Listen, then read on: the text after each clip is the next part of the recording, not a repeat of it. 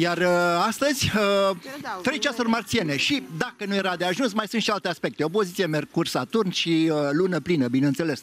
Astfel încât cu toții ne putem aștepta la tot felul de întreruperi, de încurcături, de dificultăți.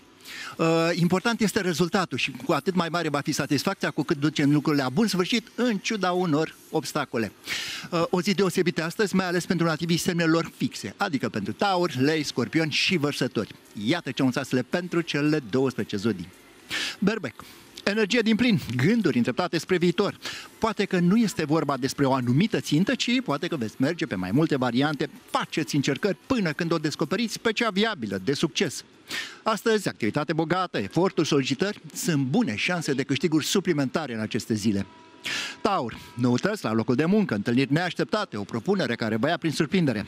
Poate că vi se încredințează un proiect aflat în desfășurare, care n-am funcționat prea bine până acum și pe care trebuie să-l aduceți la linia de plutire. Oricum, sunt apreciate ideile, propunerile și sfaturile voastre.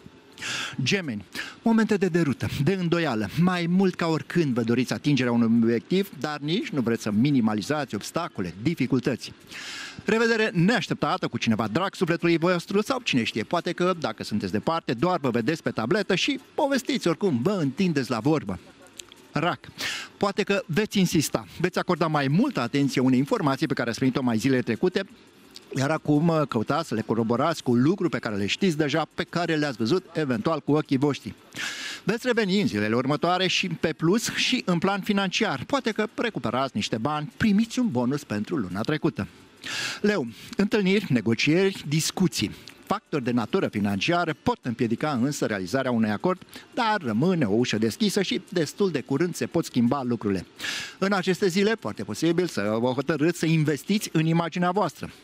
Un eveniment de promovare are un succes remarcabil, un anunț al vostru face valuri, vâlvă, Fecioară, aspecte amestecate, stări schimbătoare. Reținut și prudenți la început, se poate să descoperiți pe traseu soluții, variante, perspective.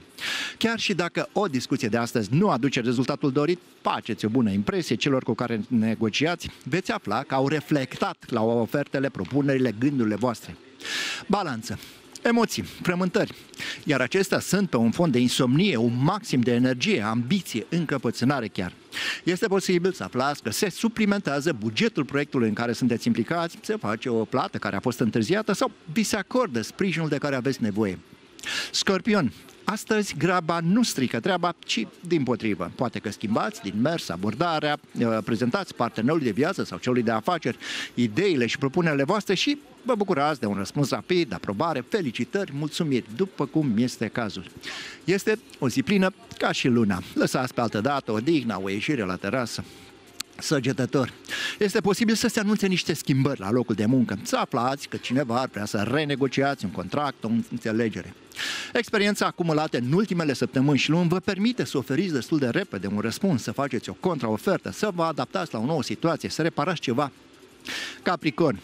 Chiar dacă vă iau prin surprindere sau diferă destul de mult de ceea ce știați voi, se pare că veștile care vin au totuși o bază serioasă, sunt demne de luat în seamă evenimente neașteptate, cu ocazia unui drum, a unei deplasări. Cine știe, poate că se schimbă ore, traseu.